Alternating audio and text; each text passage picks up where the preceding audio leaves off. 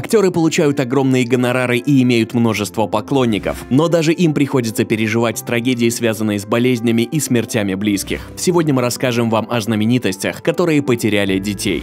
В 2009 году четырехлетняя дочь Майкла Тайсона трагически погибла в доме своей матери. Девочку нашел ее семилетний брат. Она запуталась в проводе беговой дорожки и задохнулась. Знаменитый рэпер Доктор Дре в 2008 году потерял сына. Юноше было 20 лет, он умер в доме своей матери от передозировки героина. Доктор Дре никогда не жил под одной крышей с сыном, и его матери пришлось даже отсуживать у рэпера алименты. В 2012 году скоропостижно скончался старший сын Сильвестра Сталлоне. Причиной смерти по заключению судмедэкспертов стал сердечный приступ.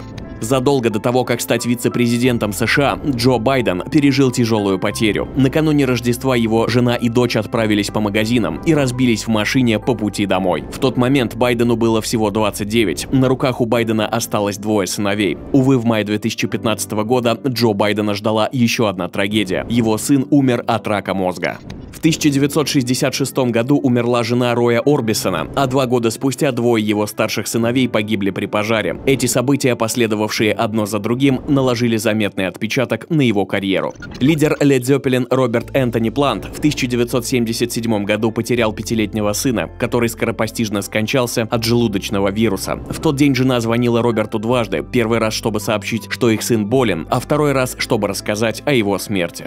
Старший сын Жерара Депардье несколько раз побывал в тюрьме и страдал от алкоголизма. Также он был болен диабетом и перитонитом. Он скончался в 2008 году после заражения вирусом, который вызвал скоротечную пневмонию.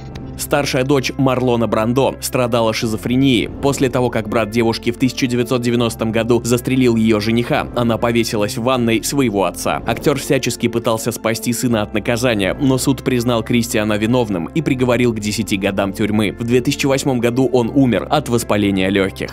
Джон Траволта пережил трагедию, когда в 2009 году умер его 16-летний сын Джет. Мальчик был аутистом и периодически страдал от тяжелых приступов, один из которых закончился смертью. Совсем скоро выйдет вторая часть видео, в котором мы расскажем о российских звездах, потерявших детей. Подписывайтесь на канал, чтобы не пропустить новый выпуск.